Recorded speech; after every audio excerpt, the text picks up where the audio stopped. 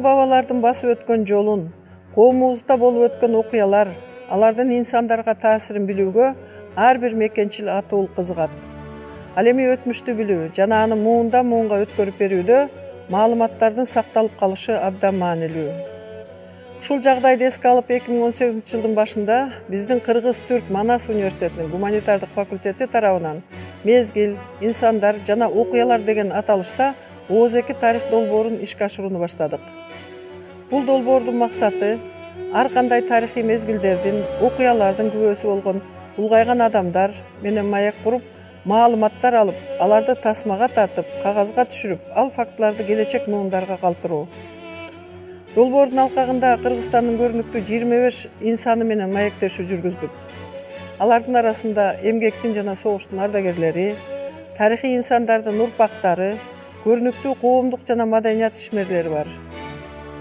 Долбоорду ишке ашыруунун жыйынтыгы катарында мезгил инсандар жана окуялар аталышында документалдуу тасма даярдалды. Жана долбоордун материалдарын китеп түрүндө азырынча кыргыз тилинде жарыялоо планыбызда бар. Бүгүнкү күндө дүйнө илиминде окумуштуулар жазылбаган тарыхка абдан маани берип изилдеп жатышат. Биздин долбоордун материалдары дагы келечекте тарыхты изилдөөгө пайдалуу болот деген ойдобуз мезгил инсандар жана окуялар долбоору кийинки жылдарда дагы уланмакчы.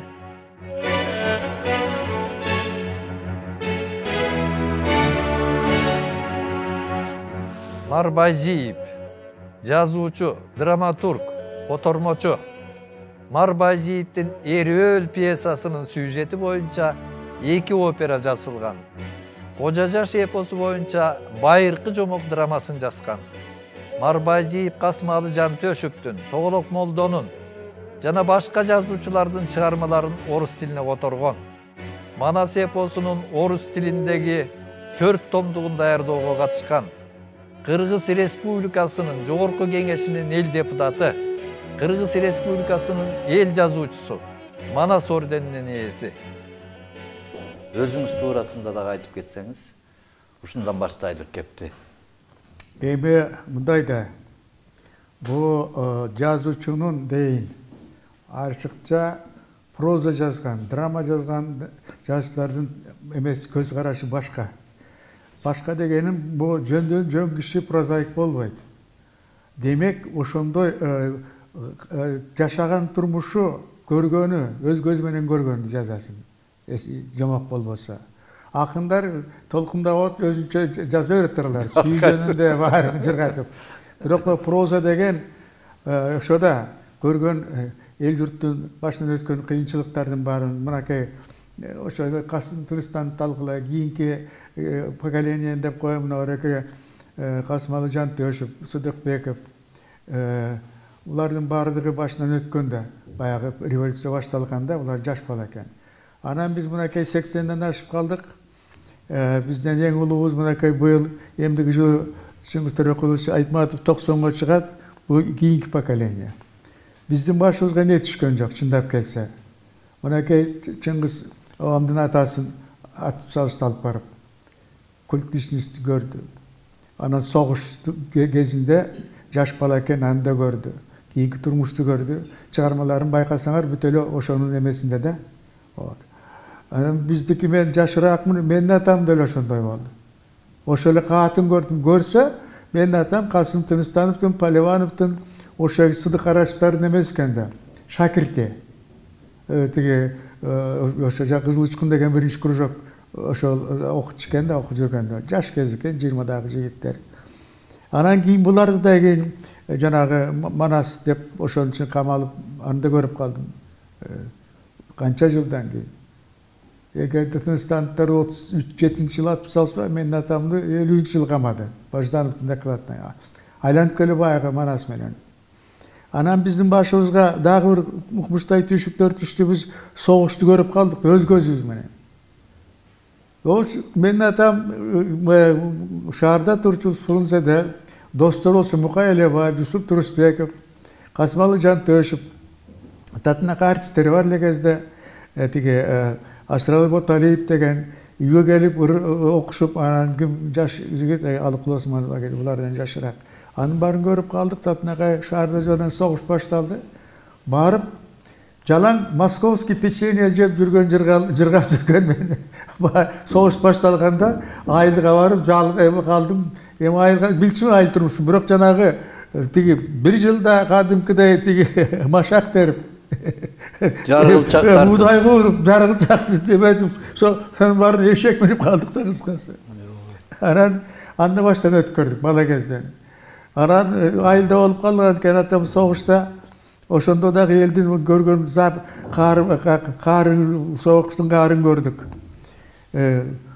же күн алыс эле аркы көчөдөн берки көчөдөн үн чыгып калат көрсө баягы кара кагаз келет экен анан барып ыйлайбыз баарыбыз ошонун баарын көрдүк баштан өткөрдүк ачка болдук жанагы кыламык кар жааганда сары кар деп коет биринчи карды жыңайлак барчубуз мектепке биринчи экинчи класска мектебибиз кичинекей эле тепке деген жерде бир класс ашып кетсе он эки бала ошо карликовый класс деп коет биринчи класс менен үчүнчү класс бир бир комнатада окуйбуз анткени ошол анын баарын көрдүк андан соң жанагы согуштан кийин карточный системаны көрдүк ада шаарга да келдик согуштан келгендерди келбей калгандарды көрдүк ыйладык баарын ошол мукай апам келбей калды юсуп апам келбей калды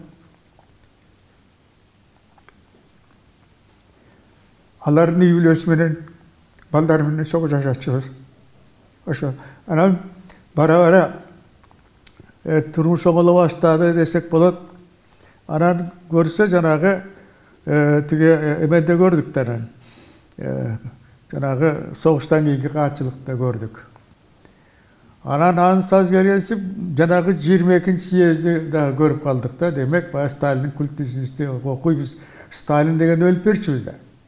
Ооба. Ой сталин сталин ленин деп анан кийин баягы ал тургай мектепте орус мектебинде окугам шага келгенде анан кийин тиги эме кылабыз да залда дурусураак балдар мындай тиги сегиз тогузунчу класстын астында биз кичиирээк бала үстүнө чыгып туруп анан кийин тиги кыйкырабыз да спасибо товарищ сталин за наше счастливое детство деп кыйкырабыз а тиги жерде светланасын сүрөтү бар тынакай сталиндин колунда турган аллилуйя ошол кезде мынакей жети сегизинчи класска келип калгандар эмиле экөөбүздүн атабыз тең түрмөдө аны кайдан билдик сталин каматып атканын бирок жанагындай кыйкырабыз да спасибо товарищ сталин значит көрсө бизди жанагы жаңы ушундай бир түйшүккө түшүргөн экен анан окуп жүргөндө жигит болуп калдык студент кезде жанагы сталиндин эмеси жүзү ачылып кимдин ким экенин билип анда баштан өткөрдүк да ошол муну айтып атканым ошол кыйынчылыкты көрмөйүнчө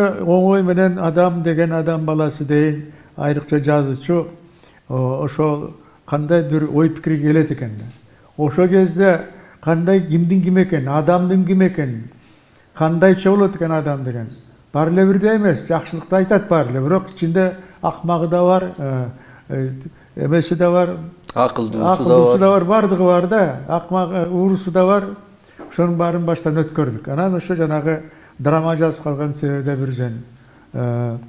Проза жазганым да бир эме биздин поколениянын ошо согуш жылдары өстөгөн балдарыбыз да жыйырма экинчи съезден кийин жаза баштадык анан байкасаң ошо бизден чөйрө дейин жалаң ошо баштан өткөргөн турмушта согуш жөнүндө жанагы культ личность жөнүндө биз эч качан эчтекени ойлоп чыгарчу эмес баштан өткөн турмуш мынакей окугула ушул тиги чыңгыз төрекуловдун тиги повесттерин бетме бетин жамиласы бүт эле ошо андан кийинчерээк биз чыктык мынакей деген кеңеш юсупов омор султанов бекстан жакиев ашым жакыпбек бүт эле биз ошо согушта көргөн балдарыбыз да ошонун баарын баштан өткөргөн турмушту жазып чыктык ошол ошону менен жазуучу болуп кеттик анан бир нерсени айтайын силерге мен деле тиги мындай да эме совет өкмөтү албетте мунун иши зор элди бириктирип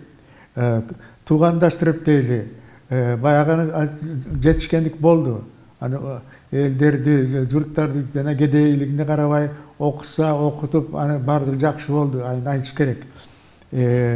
Жанагындай эме боюнча адамгерчиликти жакшы эле сактады бала бакчасынан баштап. Бирок бул эмеге келгенде идеология келгенде мунун бир эмеси болуп түйшүгү дейин карасаң эле ептеп септеп акадари толкунданбайсың. Ырын окуйсуң поэмасы чыгабы романы чыгабы. Анан деп эле премия берип салат сталинский премия гос премия болуп көрсө анан башкаларды болсо жолотпойт айрыкча мынакей кырк алтынчы жылы чыктыбы тиги ждановдун доклады көрсө аны кийин молотов айтып берди кандай болгонун согуштан кийин жанагылар эй момундай чоң түйшүк менен ушу заманга келдик эми чындыкты айталы дейт көрсө бул вкпбнын эмеси идеологиясы дейли кандай гана чыгарма жазбагын совет өкмөтүн макташ керек экен партияны жакташ керек экен анан кийин жанагы марксизм ленинизм деп чыгарып атпайбы эми марксизмди билебиз бир сөзүм айтканда мындай экен да кийин окудум да капиталды бала кезден студент кезде окудук айланып кетейин тиги политэкономияны ленинизм бул кызык экен көрсө маркстын айтканы бар экен эл эл журт дейт бара бара экиге бөлүнөт дейт колунда барлар колунда жоктор бул марксизм чындыгы эле ошондой эми колунда барлар завод фабриканы башкаргандар андан иштегендер рабочийлар ушундай да. А колунда жоктор экен иштеп берет экен эми бул чындык азыр ошондой болуп атпайбы да? Фирмасы бар ага иштегендери бар. Өкмөттүн эмеси бар жанагы предприятиялар дейли анын иштегендери бар.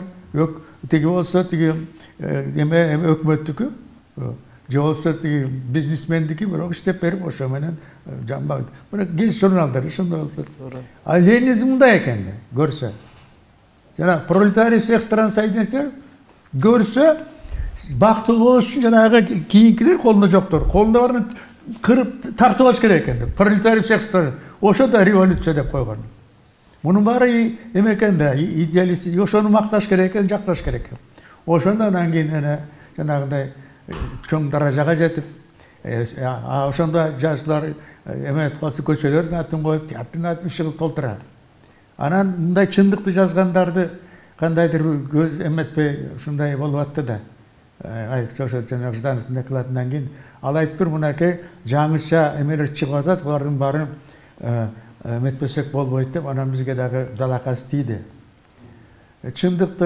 айтыш деген мындай мындай дейм баягы айтып эле аттык аны бирок жашыруу кандай дейли? Кудулдук болобу сатира юмор болобу жөн да акырын баягы мындай айтчубуз ачык айта албайбыз жамандыктыбы кандай мынакей заманда жашап атабыз ушундай жакшы заманда момундай жаман адамдар пайда болду дегенде мындай бар эле да ал турмуштун өзү ошондой экен ошондо баштан өткөрдүк кыскасы.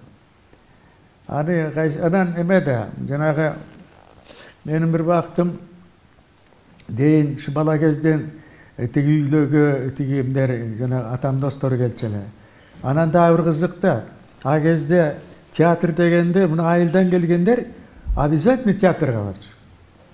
Мына эсимде кудай жалгап жанагы менин атамдын карындашы чатай эжем бар эле. Жана болот миңжылкыев деп жүрбөйбүзбү ооба тамара деген энеси бар тамара эже булар көрсө балетте иштейт экен а мен дайыма жетелеп барат театрга репетициясын көрөм баягы балетте эмеге барып анын баарын көрдүм анан дайыма ошо кандайдыр жүрөгүм менен театрды чоңойдум десем болот да эме болсо мисалы үчүн ажал орнуна баары келишет анткени бир эле артистти кошуп коет да ошондуктан барышат ажал орнуна барат ушу анан кийин кээде эмелер тиги бир эле кызыкты айтып берейин тиги отуруп айтып калышты ажал орну болот деди анан ашыралы амботалиев келди келип туруп чай пай ичишет эми баягы жаш жигиттер отуздагы согуш башталды кезде анан кийин тиги ажал орнуна барабыз деди анан бардым эми дагы жусуан бар барып отуруп анан кийин бир кезде карасам эле ашыралы аба мына үн татынакай барктың очу ой деп балдар жакшы көрөт ой сен бөлчү бетиңен туруп койчу ушундай ушул баритон да жакшы көрөм да өзү да добрый киши бир кезде карасам эле айланайын машина могунду эмени кийгизип мойнуна карасам эме чынжырга байлап анан бакырбайбыз ал деп ашырала деп деп деп бакырсам залдан жетелеп кетти анан дагы космоловну жакшы көрчүмүн а көрсө ада театрда иштейт экен да жантөшев жантөшевди адагы балдар жок көрсө эркек баланы жакшы көрсө балдар чогултуп бай балдар деп баягы конокко келген анан кийин жакшы көрөм анан эме дейбиз ушуну мен киммин дейт анан биз айтчубуз тиги тиги тиги пайгамбарсың деп ушинтип баягы жакшы көрсө а көрсө алтын кызды чакырып деме деген бул эмне деген басмачы бир кезде карасам эле басмачы баягы касмалап үйдү өрттөп атпайбы түү деп калдым жаман көрүп калдым келгенде келип бетин бүтүп болбойт сиз басмачы турбайсызбы өптүрбөй атасыз ушундай болду да.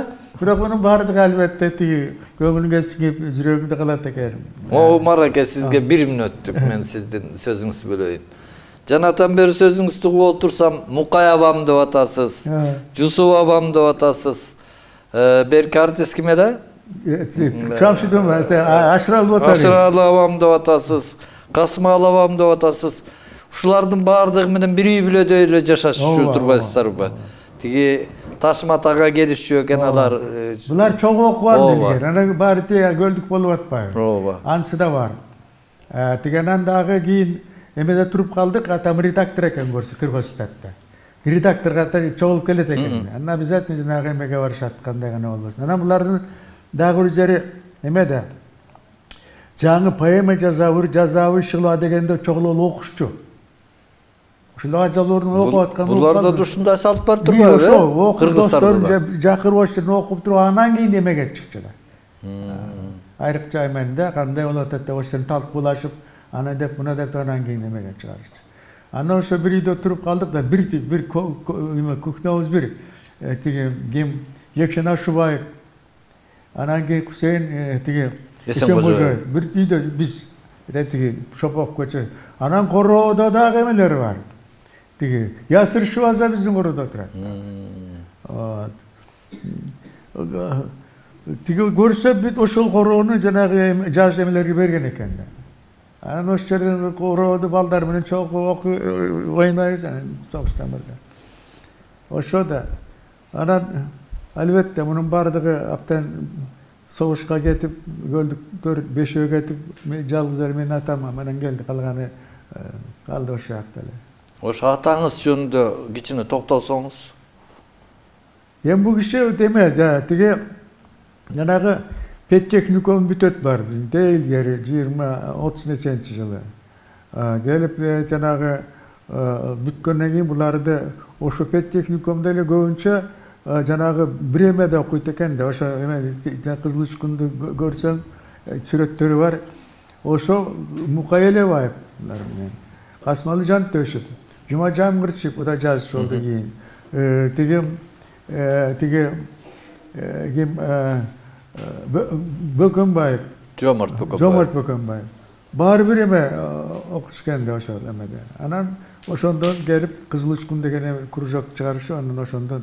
кийин мугалим болуп кетти болду бул болду баары чогуу жүрүшкөн экен да көрсө анан бул жусубан болсо эме экен бул буларын окубаптыр көрсө ошо эмеде тиги эмеден эмени бүткөн экен эме сельхозтехникумду бүткөн экен анан бирок баягы келип кошулуп чогуу жүрүштү да ошол анын баарын көрүп калдым да эмне дейсиң анан ошо келсем согуштан кийин эч кимиси жок менин атам тиги ошо тирүү келгени эме көрсө ошо член союздардан жогорку билими менен эле атам экен институттерде ал командир взвод экен бирок тиги киевдин алдынан раненый болуп келди жарады калганын баары үч жазуучу ошо украинада каза болду экөө тиги москваны ленинградды ушул жактан каза болуп жаздылар мараке мен момундай бир суроо берейин деп турам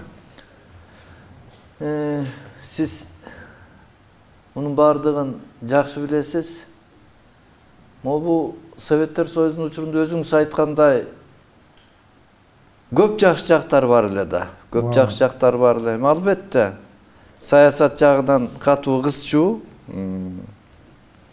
Анын кысымдарын эми сизге айтып бериш болбогон иш анын баардыгын өзүңүз көрүп атпайсызбы? Кыйноосун да кыстоосун дагы жакшылыгын да жамандыгын да көрүп атпайсызбы? Анан эми ошол чыгармачылык чөйрөлөрдө жазуучулардын арасында театр ишмерлеринин арасында дагы дагы башка өнөр ээлеринин арасындагы ошо совет өкмөтүнүн учурундагы чыгармачылыкка болгон мамиле анан азыркы биз эгемендик эркиндик алгандан кийинки мына азыр баардыгы тең эркинбиз деп атышат да ооба эркинбиз каалаганыбызды жасабыз деп атышат бирок ошол советтер союзунун учурунда тушунда жасалгандай чыгармалар азыр жазылып атабы эркиндик алышты баардыгы турат эми жанагы мындай да жанагындай чоң бир окуя өткөн жок азыркы жазуучулардын башынан ыр жазып атышат ал болот поэма жазат ырдайт сүйүү жөнүндө ырдайт эме бирок жанагындай драмалар чыкпай атпайбы же болбосо драма жазса илгеркини жазып атышат чыңгыз төрөкуловдун эмеси коюлуп калды да эмеде орус театрында пьеса болуп жанагы и дольче века длится день. Кылым карытаар бир күн Кажется, пьеса болуп чыккан. Москвада коюп атты современник. Тагай анан аны да алып таштайт анан эмеге чакырдыбыз райкомго. Эчикем оң түшөтпөйт мени уйпалайт да анткени ал киши тияктан москва тияк правданын корреспонденти болду тиги чоң жай. Анан уйпалап эме кармайт да. Анан парсагын айтып атпайбы райкомдо? Күлпогончу анан баягы орусча жүрөт парсабра Почему вот, вот такие антисоветские произведения вы ставите на сцены Кыргызского театра? Вот, Байджиева. москвичтер коюп атат Жо, аны бұл жерде дейт, мына Байжиев деген койдуңар Кыргыз театрына, Айтматов койдуңар Орус театрына. Анан ошондо айтпайын атам чоң өскөн киши илгери чоң окуган жанагы. Ошол бизде парторг, а, Министерство культурада. А мен да главный редактор болуп калдым. Ал айтып атпайбы? Мындай дейт. Вы знаете, райком отчет берет. Вы знаете, как волка не корми, он все время в лес смотрит, бежит. Айтматов менен Байжиевтин аталары э, репрессия болгон дейт. Ошондуктар алар ошол аталарын өчүн алып атат. Жалаң жамандык жөнүндө советтер ищет негативные стороны советской действительности деп атпайбы. Алып таштап экөөбүз анан баарынан дагы кызыгы эмеге алып келип талкуулашат жазушылар союзуна аны өзүң билесиң жазуучулардын ичинде Ооба. көрө могуна Ооба. айланып ошол жерден анан уйпалашат да биздин аксакалдарыбыз ошондой ким экенин айтпай эле коеюн эми бар өтүп кетти анан уйпалап туруп мага келет дагы анан менин чыгармамды алып таштайт а тиги чыңгызга күчү жетпейт анткени деп тияктуу анан дагы эптеп септеп эс алып эки китептеримди алып таштабат эме ал кезде чоң тираж менен чыкты чыкчу анан бир эмем чыккан кичинекей китебим он эки миң менен чыгыптыр токтом чыгарды изъять из эме деп Ой, ушу 12 повесттеримди анткени орусча чыккан чужое счастье деген сборник болчу да анан аны уже өзбектер фильм койду ошондо башка бакчы деп аны окубайт эме дейт да доклад и. фильмди мен көрүп калдым а эме дейт да бу дейт мынакей көрдүңөрбү дейт счастье советского человека для него чужое счастье окубайсыңар не про этих окуйгу мен тетиги иса пайгамбардан алып атам ал пайгамбардын айтканы бар экен адамга жакшылык жасасаң ада сенин бактың деген бактылуу кылсаң деген сөз бар экен библия менен айтып атам мен эме Ис- эмеде да бар куранда да бар жок мен оказывается жанагындай экен ошону анан жүрө жүрө жакшы тынчыдым кудай жалгап москвада коюлуп атат эме жок да. Өткөрүп берим айланайын иштебейм үйдө отуруп иштеп берейин деп анткени жа- жанды койбойт да. Германиядан звонить этет ушундай болуп атат деп болгариядан звонить этет москвадан звонить этет центральный телевидение бирдеме ушундай чыгарып атабыз ташкенттен чакырышат келип э, опера коюптур украинада коюптур эмеден казактар вообще мени чакырып атыр кетирбейт да эки үч жума ошол жерде Же- ал жерде дагы тиги кайсы бир жылы барсам үч театр коюп атыр чыгарма уйгур театрында жаштар театрында анан кийин ауез театрында мен чыгарма ушундай да анан кайра баягы башталды бул кандайча болот деп тиги күлпогончону чакырып алып туруп анан тентеже анда биз жана авторский правода да бул кандайча муну а, тиги эме кылып атасыңар алып салып атасыңар иштетип атасыңар анан күлүп койгончо айтты менде эмне дейт алып таштагыла мынакей мынакей тенти айтсын дейт айтчайт тенти авторский праводан ал эжебиз айтты ай эме биз деген бизнестер эми чет мамлекеттерде коюлуп атат жүз алтымыш бир театр коюп атыр кантип анан биз дейбиз дебейби а көрүшсө ошол кезде между нами говоря тиги усубалиев менен кулматов үшүнчү секретарь. Экөө каршы болуп калыптыр денегеден мураталиевпи кулматовпу уже тиги түшкөндөн кийин уже кулматов менен.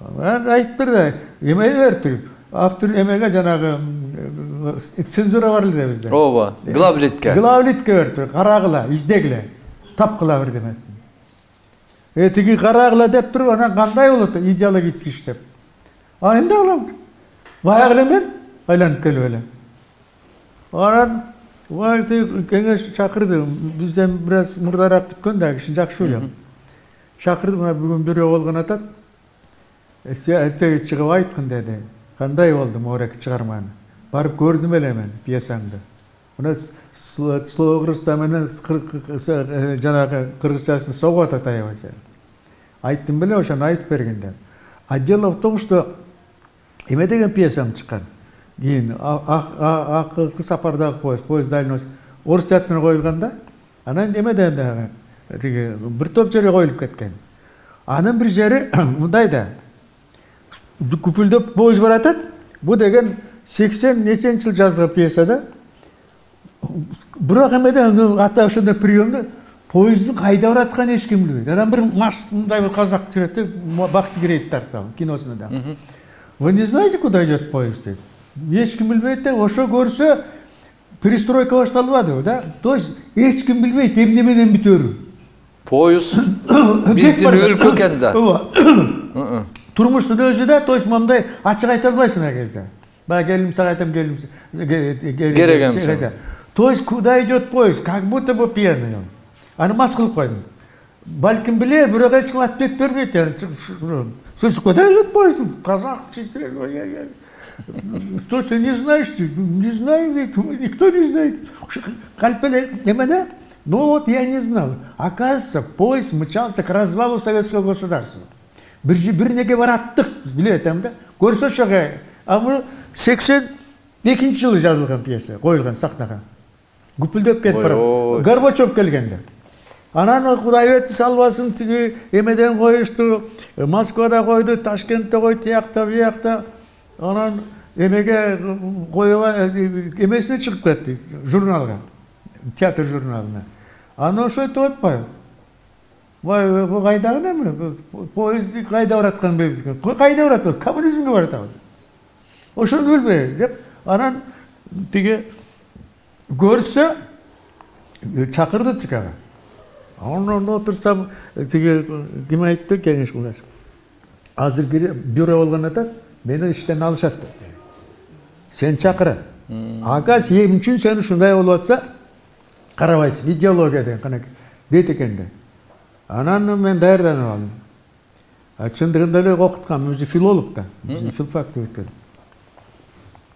анан кирип айтайын дедим даярданып алдым а дегенде тиги эме экен да молдобаев отдел пропаганда экен жанагы биздин александр ионов ошол жери эмес экен помощник усубалиевдин да жок помощниги ана дегенде талкуулашты мен айттым вот так вот так. Анда айтты да мен чыгып айтайын дедим о чындыгында тиги кулматов менен сүйлөшкөм ал киши мындай мындай жерин айткан аны мен оңдоп берем керек болсо чындыгында ошондуктан бул киши менен просто тигилер коюп жиберип деген ушундай башка жерлерде коюлуп атат деп айтайын десе мени чакырган жок отурдум бир эки саат анан чыкты эмдесе кереги жок уже түшүрдү деди көрсө ошондойго улам эме келип калып аттым да маракем менде бир сөз ой пайда болуп атат суроо ошентип белгисиз сапарга бараткан поезд токтобой кулады талкаланды метафорический айтыпсыз фигуральный айтыпсыз да анан эми азыркы мезгилде биздин адабиятта деле могу тилде деле ошо оңдойбуз кыргыз тилин адабиятын дагы да ушундай деген сөздөр көп болот ушу дагы эле ошол кайда баратканын билбей эле поезд кетип баратат эми ушул поезд кайда барат мураке ушинтип жүрүп отурсак жакшылыкка барбайт мен айтып элатам жазып жатам кийин депутат да болдум мураке ооба легендарный парламентте. баш жагында бир топ күпүлдөп анан эме да бир сөздү айтайын. Албетте совет өкмөтү кулады мындайча айтканда туура эмес кулатып алды да. Ошол партиянын колу менен эмеш керек болчу. Мына кайра чогула албай атпайбы саммит шош бир балакет кылып атышат да жок биздин оюбуз эме болчу бул ар бир мамлекет өзүнчө демократия болуш керек. Бирок бир мамлекет болуш керек. Советтер союзу вот как снг болбодукпу демек эме да только партия башкарбасын эл журт өзү анан биз жанагы сүйлөшкөндө тиги горбачев эметип атканда как раз тиги депутат болуп калды анан чакырып калды акаев анан айтты мен тиги кетип атам кандай дейсиңер деп сурады анан кеңештик да. Анда бизди менен кеңешип турчу кийин анан бизди кубалап жиберип жалгыз калдык анан дейт сейчас стоит вопрос. Партияны кутулду кпс неправящая партия стала. Өзүң билесиң да?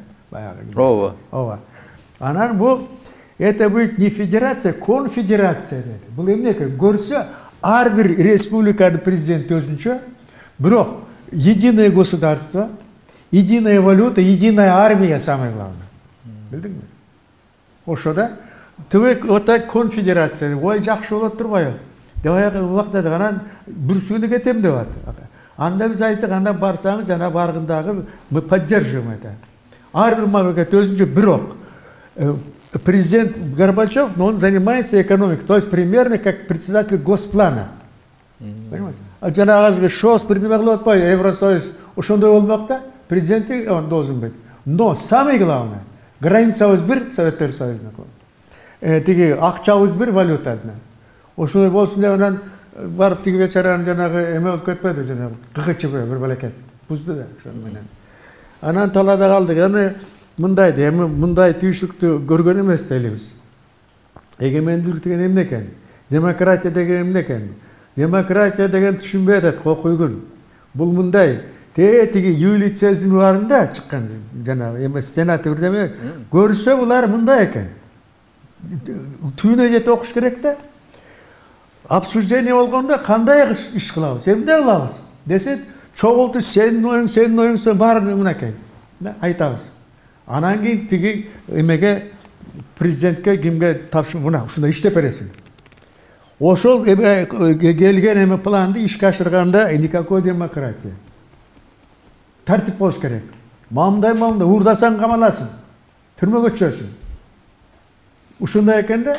То есть орусча айтканда обсуждался демократическим путем осуществлялся диктаторским путем. Анткени закон. Андан чыга албайсың. Кыңк еттиң кетесиң же түрмө. Ошону билбей атабыз. Анан жанагы эме дагы тиги бир топ жutta жана айтып атканым ошо да. Эме главлит деген бир айланайын бул главлит мындай. Өзүң да иштеп калбадыңбы ала тоодо иштедиң барып туруп главлит кол коймоюнча чыкпайт ала тоо окуйбу анан жана спектакль койбодукпу эгерде ошону мамлекет кабыл алса москва жака чыгып атты да ошол жерде главлит печать болбосо бир театр койбойт туура ошондой да туура обязательно главлит немеси болуш керек анын саз келгенсип сахнага койбодукпу а дегенде худсетип көрсөтөбүз анан главлиттин үч орду бар капкадимки кыргыз орус анан ушундайда келип көрүшөт главлит кол коймоюнча чыкпайт спектакль кеч иштегенде ушундай түнү менен алар отурушат баягы эртең кички түн ичинде келип туруп карап туруп штабын койгон чыкпайт то есть цензура бул деген чыгарманы жанагы гезиттин чыга электе карашат да а кийин чыккандан кийин карай бер ал цензура эмес комиссия деп койсок да болот да анан кийин жанагы дивандан жүрүп отуруп ошону закон кабылдаш керек болчу ошо мага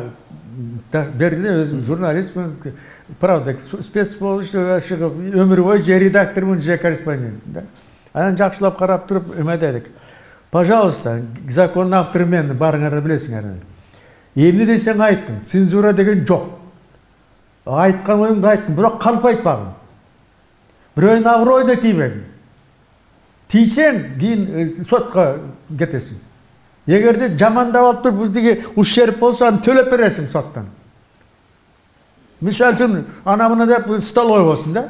Анан тиги эшектин этин сатып атат десе калп айтса кармаса канча ущерб болсо аны төлөп берет ушундай анан калп эле атпайбы слово до слова. Азыр деген кечирип койгула жанагы кездин баары катымшак болуп кетип атпайбы бири бирин жамандап. Туура. Анан кийин айттык да аскар агачке казат экөөбүз барып айттык ушундай жакшы болду бирок мынакей өтө эле эметип кетти бир колго ала турган бир комиссия болуш керек. Комиссия это не цензура. Момундай кандай эмне чыгып атат? Эл журтубузга чындыкты айтыш керек. Мынакей мамлекеттик эме бар бизде жанагы эмебиз эркин тоо тиги тиги кыргыз туусу кыргыз туусу журналдар болуш керек. Ошолор аркылуу анан кийин телевидение бул государственный не частный. Тетпе калып айтса айткыла андай эмес мындай деп.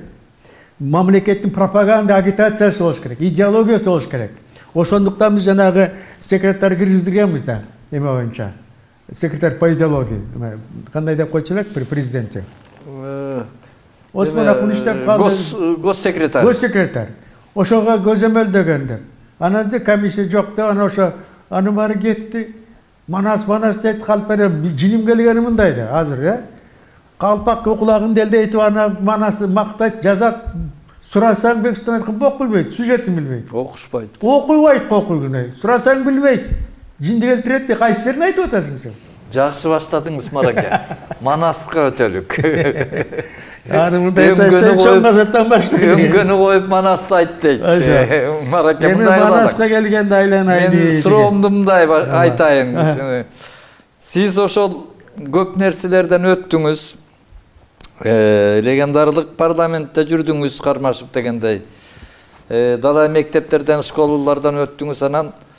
Ташым байжиевдин жасаган эмгектерин баягы логический точка коеюн деп чекит коеюн деп. Анан ал кишинин эмгегин акырына чейин баягы бүтүрөйүн деп азыр ушу манастын тегерегинде көптөн бери жакшы иштер жасап атасыз. Мына жанагы манас жөнүндө манас семетей сейтек дастанынын буюрса жакында үчүнчү басылышы чыгат. Үчүнчү басылышында да абдан чоң бизге жаңылыктарды алып келдиңиз анткени манас дастаны боюнча тартылган иллюстрациялар жаңыдан бир варианттар берилип атат биз мурун манасты теодор герцендин варианттары аркылуу биле турган болсок азыр биз башка художниктердин сүрөткерлердин варианттары аркылуу көрөбүз анткени манасты биз ар кандай түрдө көрүшүбүз керек да бир эле нерсе монополия болбош керек монополия болбош керек анан андан бөлөк дагы бир кызык нерселер баягы петровдун сүрөттөрүн болсо билесиз өзүңүз айтып жүрөсүз немис тилинде чыккан китептеги иллюстрацияларды билесиз шумдуктай кыргыздарды шумдуктай тарткан кыргыздардын тамактанып атканы алмамбеттин атасынын башын ыргыта чаап чуркап бараткандар ушулардын баардыгы шумдук эми ошо петровдорду сталиндик сыйлыктарга көрсөтүшкөн да бир учурда анан эми ошолорго мындай бир сын көз менен карашпайт жана сиз айткандай окушпайт түбүнө чейин. Үстүрт баардыгы тең үстүрт анан котормолорго келгенде баардыгы мактанышат. Баланча тилде чыгып атат түкүнчө тилде чыгып атат деп. Кеп ал котормодо эмес. Котормонун деңгээлинде болуш керек да мараке.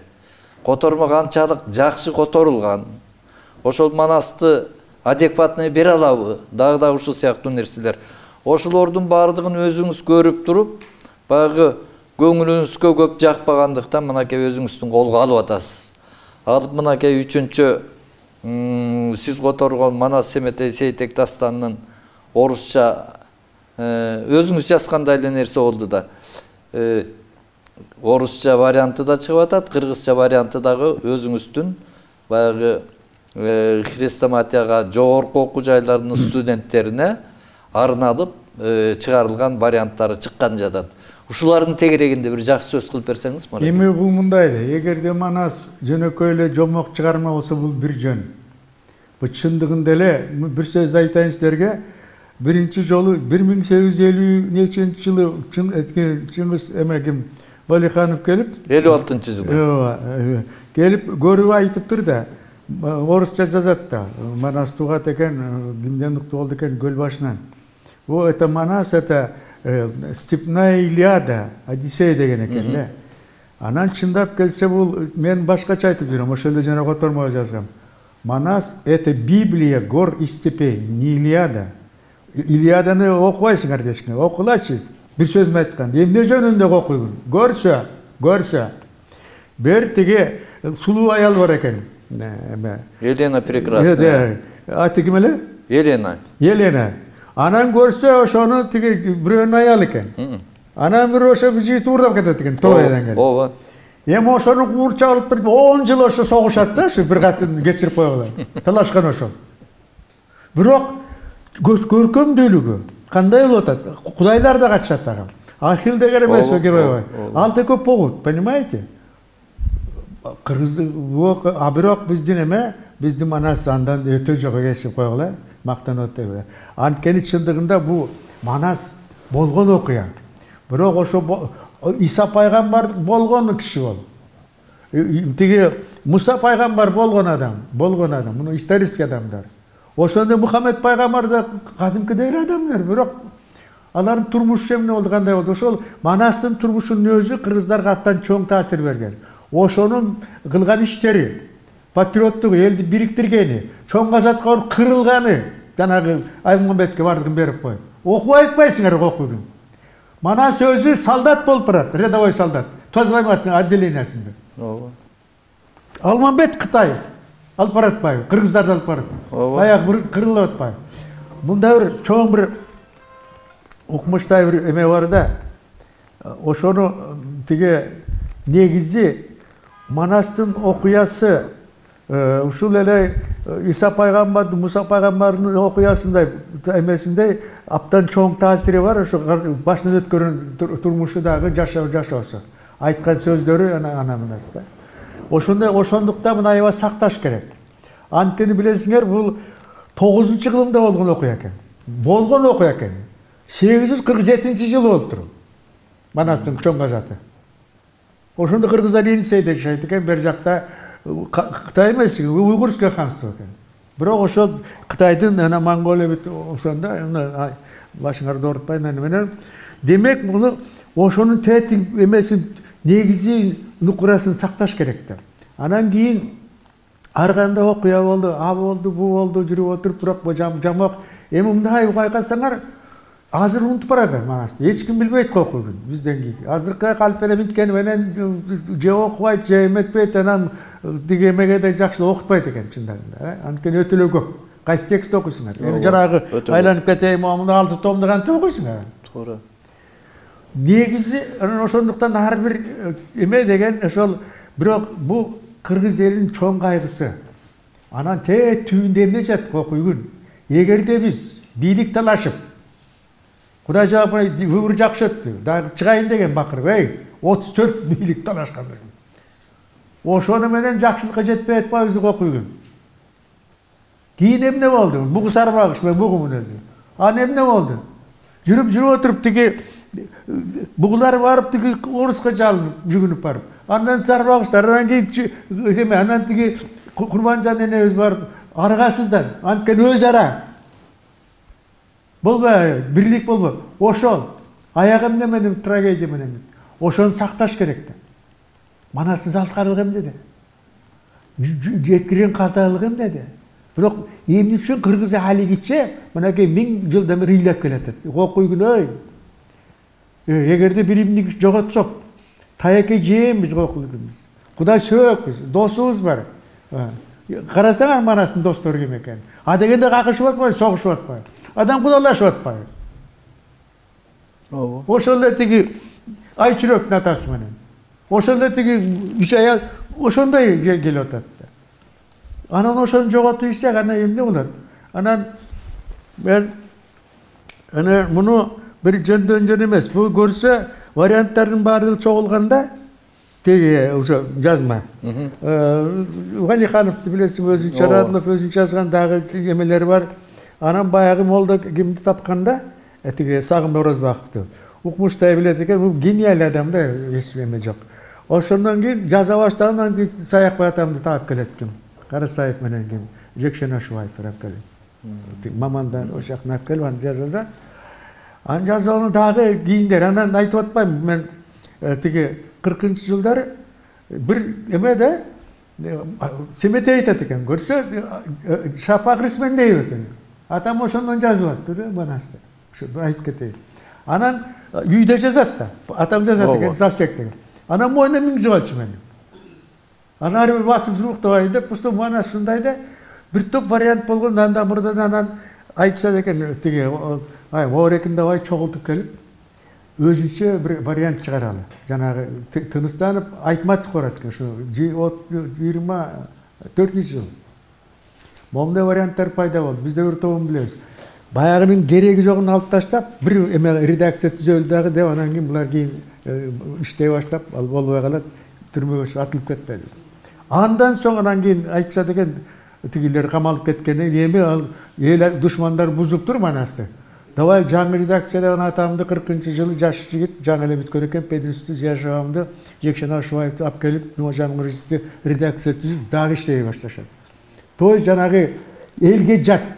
Кереги жок деп алып таштап нукура тетүүбүн үмүдүн өзүнүн баянын деп жаздыра баштайт анан бул мындай да чындыгында бул манас деген бул болгон окуя тарыхый окуя а бирок семетей менен сейтек бул чыгармачылык анткени эл үмүтүн үзбөйт экен да мына манас өтүп кетти балким ошонун бааласы төбөлүп анан бизди менин оюмча семетей атасынан жүрбөй калган эки жүз жаш эки жүз жаш кичүү билесиңби тиги сейтеги болсо андан да кийин чыккан а дагы жүз баланча жылдан кичүү ата семетейинен эл деген баягы эме бар экен үмүтү үзбөйт экен ушундай да